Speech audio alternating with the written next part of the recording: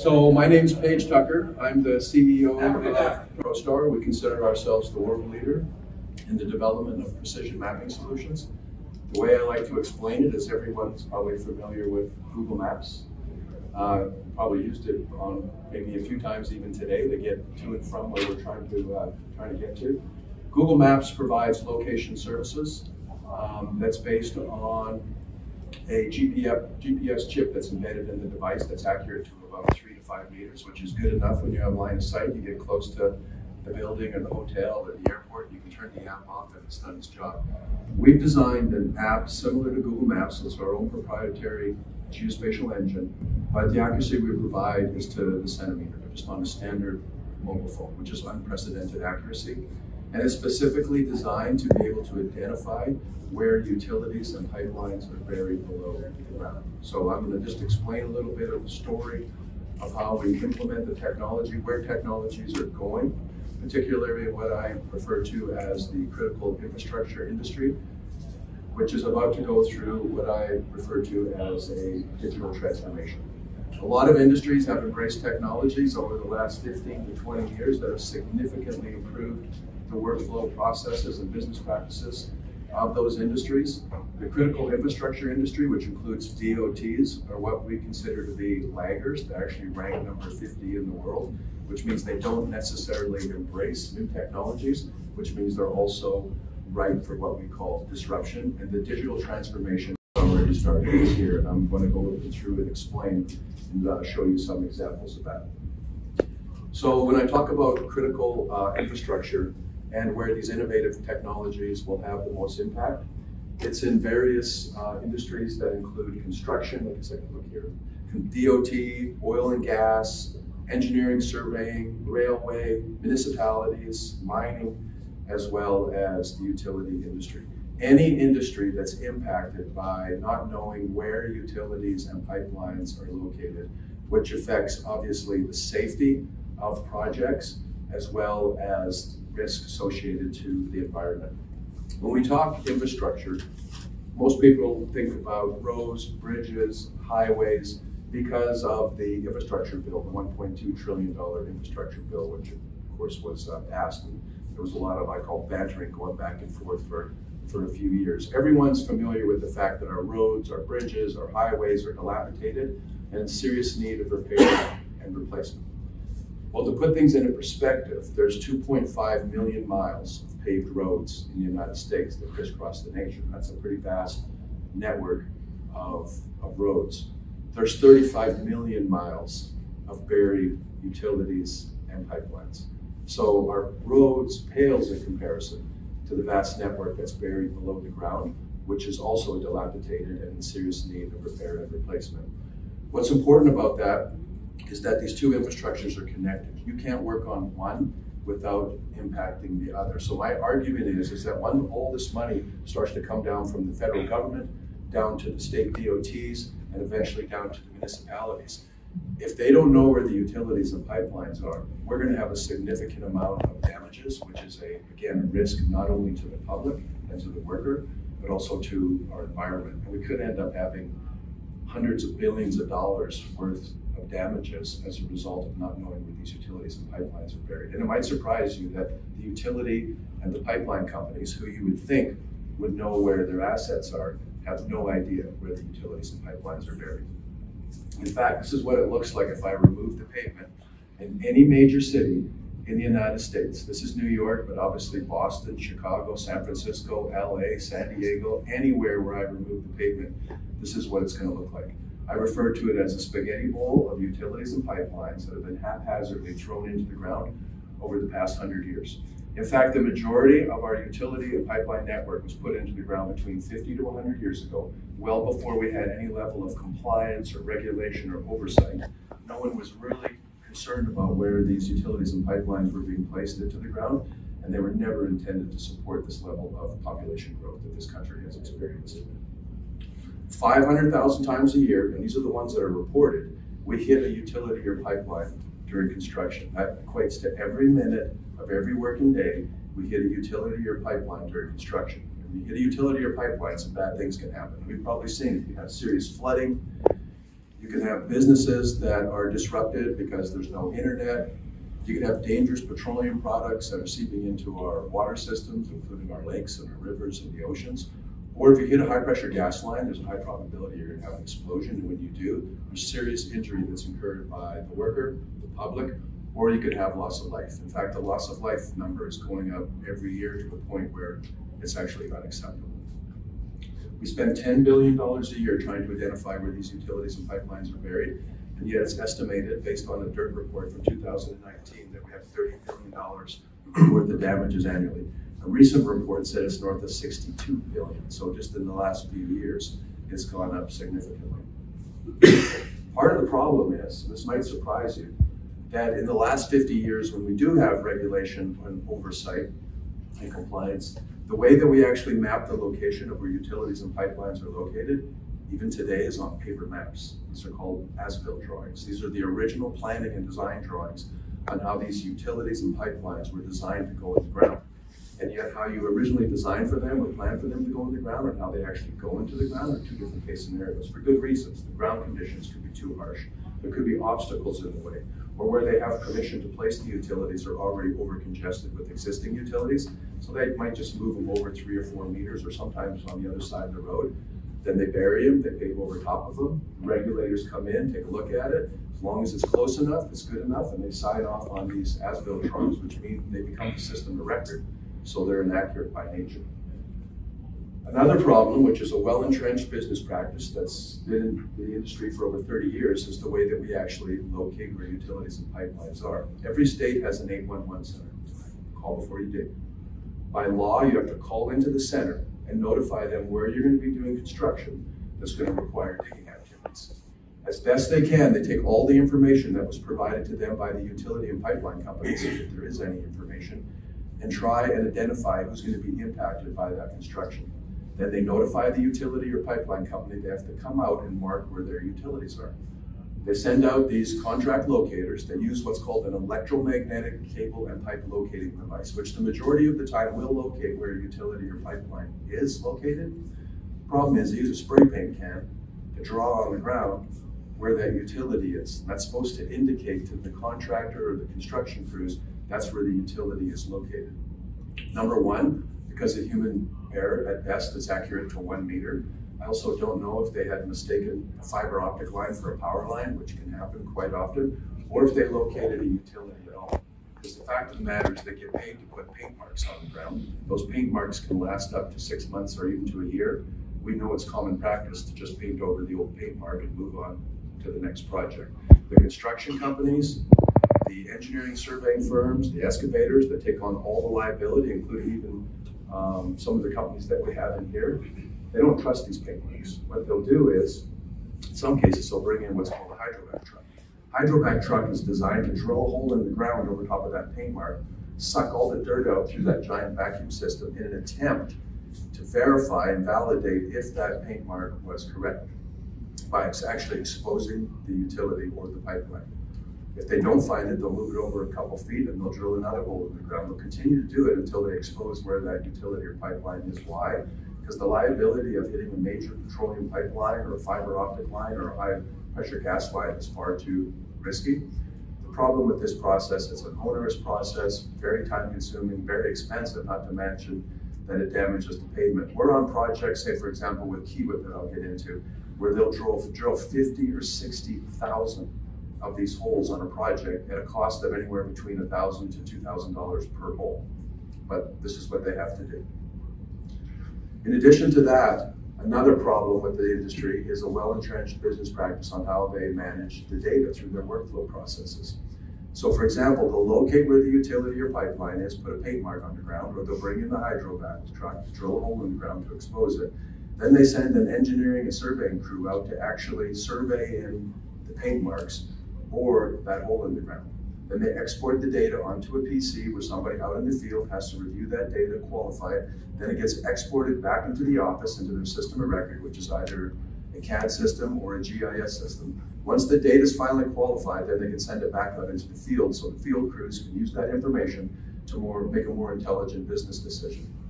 We've been told that best, on average, this takes about 10 days. So by the time they get the data, they've already moved on on the project and they're making business decisions without having good data. Now, you would think with all the technology that, has been embraced by other industries to significantly improve their workflow processes and business practices, that the critical infrastructure construction industry would adopt technology. But as I mentioned, they're a laggard, ranked number 50 in the world, which also means, as I mentioned, they're ripe for disruption. So what we did, and we are known as the pioneer and the leader, we developed a simple mobile app that works on any standard mobile device, either smartphone, like the one you have within arm's reach or in your back pocket or your purse, or a tablet. You download our app, and we significantly improve those workflow processes. We streamline a lot of the business practices, and we even create automation. I'm just going to show you how we do that. So number one, what PointMan is designed to do is to precisely capture, record, and display where the utility or pipeline is located. As I mentioned, we significantly improve and enhance the current workflow processes and business practices. And today, our clients include Fortune 500 companies, DOTs, and some of the largest subsurface utility engineering firms in the world. So on our system, simple. We capture the data, we send it up to the cloud, and it's available to whoever needs it in the office or in the field in less than two seconds. And I'm to show you how we do that because it's actually pretty easy. So we take that electromagnetic cable and pipe locating device, and through Bluetooth technology, we just pair it to a standard mobile device running our PointMan app. Then we pair it to a precision GPS receiver. So this isn't the chip, as I mentioned, that's embedded in the device. The one I'm showing you here, that's a Trimble DA2. It's about the size of a hockey puck. And that will provide centimeter accuracy. So once the data is collected on the mobile device, it goes up to our cloud. We run it through proprietary algorithms. And in a matter, as I mentioned, in less than two seconds, we make the information available to whoever needs it in the field or in the office. This is what it looks like. So we've got the Trimble DA2, in this case, that is paired to a RD8100, which is the locate device. When they're locating where the utility or pipeline is, instead of putting a paint mark on the ground, we're digitally capturing where that utility or pipeline is located on the mobile device. And then we're capturing critical metadata that's available both from the receiver and from the locate device that, that provides what we call the quality level, which is the confidence level and the accuracy of the data that's being collected. So what type of locate device are you using? What's the currency and frequency of the utility? How deep is it in the ground? If you see on here, we scroll down, it didn't tell you that the accuracy is about 1.3 centimeters. How do we know that? Because in what's called the NMEA string, which is the accuracy data that's provided from each satellite.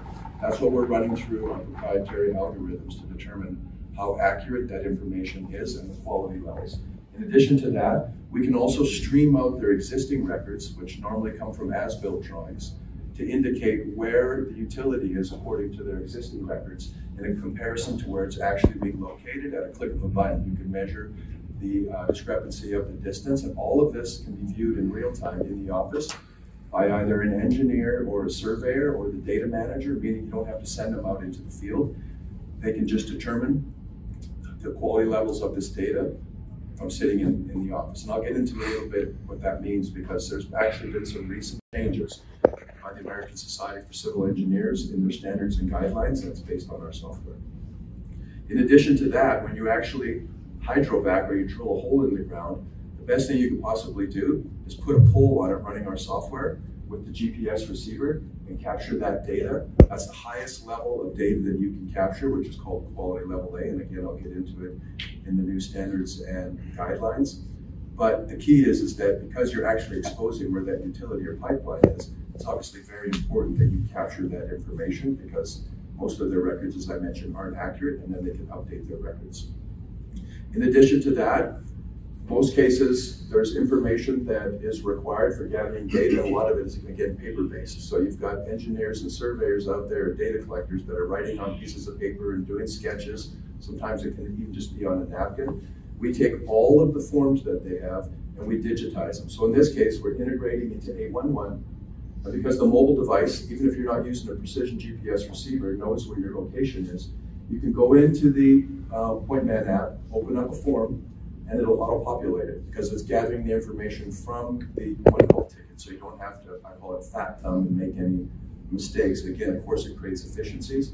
We've also built in the ability to take photos, which are embedded into the forms and also do a digital sketch. So you're not doing anything on paper. All of this is geo-referenced and associated to whatever points you're collecting.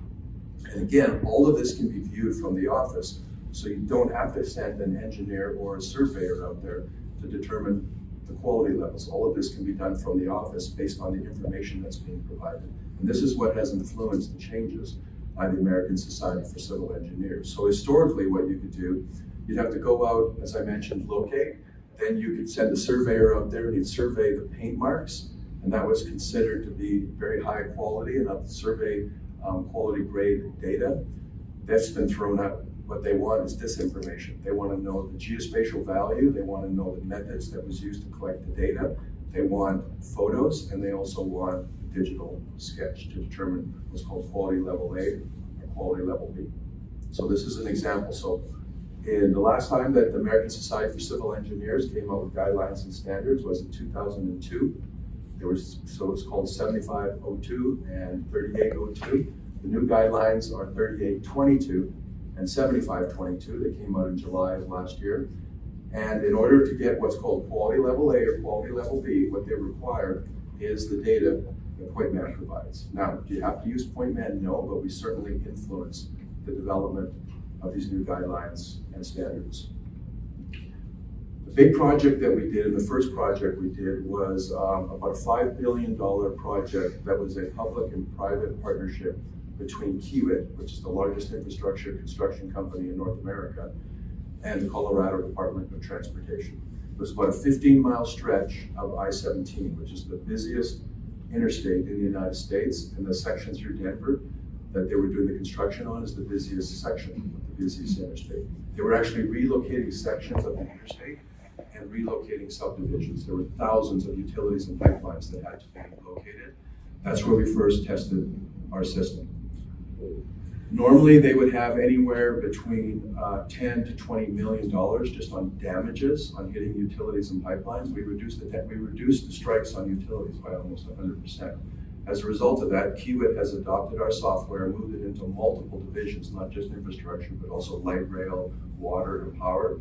And then the Colorado Department of Transportation actually mandated the PointMan software, meaning every utility company, construction company, engineering surveying firm, municipality, utility owner, anyone that either owns, operates, or is managing and maintaining utilities and pipelines on a state right of way is required by law to use our software, and it's created a significant amount of efficiencies in the workflow processes, business practices, can also affect safety for the public and the environment. Last week I was out talking to Caltrans. It looks like they're going to move in the same uh, direction. We'll be with KCI at the end of this month, talking to New York uh, City. So other states are looking to adopt exactly what Colorado has done. Not meaning they're going to have to go with it. It just goes to show where things are going as far as innovations utilizing technology. We also work very closely with three of the largest subsurface utility engineering firms around the world. One of them is KCI, which gentlemen in the back of the room right now, we partnered with them. They helped us influence the development of the software to make sure that we meet all of the standards for subsurface utility engineering. We also work with T2, which is one of the largest out of Canada, and utility mapping is one of the largest out of Australia. Our, Australia is definitely leading the way as far as adoption of what's called subsurface utility engineering business practices. As a result of that, we've now moved into multiple verticals like the ones I was showing you before. So we're working with municipalities, we're working with mining companies, large uh, energy companies. These are what I call the early adopters that are influencing the market. That's why I say the digital transformation is here. We've also partnered with the leading equipment manufacturers, including Trimble, which is one of the largest uh, providers of geospatial equipment, including engineering and surveying equipment, as well as the GPS receivers, and also Radiodetection, which is one of the leaders of the electromagnetic cable and pipe locating devices. And as a result of that, we've partnered with almost all of the major providers around the world of GPS equipment and the locating devices, including Leica, who we just recently uh, partnered with, and now we're moving into GPR as well, which of course is ground penetrating radar. So it's basically three ways of identifying where utilities are buried in the ground. You either use electromagnetic locating device, you use hydrovacking, or you use ground penetrating radar. And that covers basically about 95% of all the methods for locating where utilities and pipelines are. And that is my presentation. And I think uh, Bruce is going to go next, and then we'll sit down and answer any, uh, any questions you have. But uh, thank you.